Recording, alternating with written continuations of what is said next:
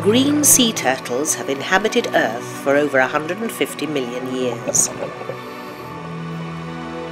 They are so ancient, they've watched the evolution and extinction of dinosaurs.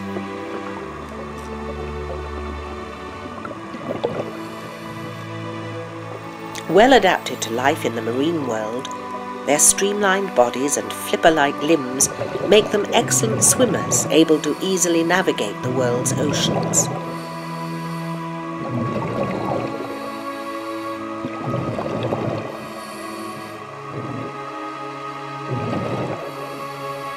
Some sea turtles have been known to move through the water at speeds up to 35 miles an hour.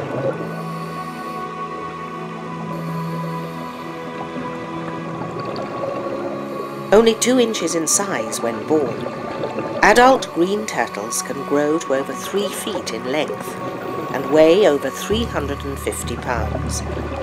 Many will live long enough to celebrate their 100th birthday.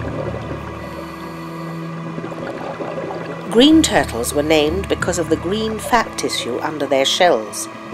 The fat turns a green colour because of their continuous diet of lush seagrass beds.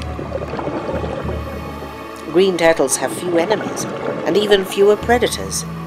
Only the larger sharks are known to hunt them. Human beings are the greatest threat to their survival. The green turtle is now formally listed as an endangered species.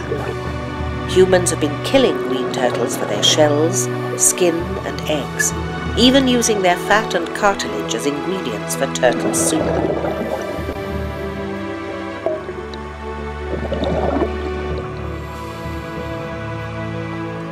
More than 10,000 sea turtles each year are trapped and drown in illegal fishing nets. Many die from industrial pollution and eating litter. Plastics are particularly harmful as they remain in the turtles' stomachs, releasing toxic substances.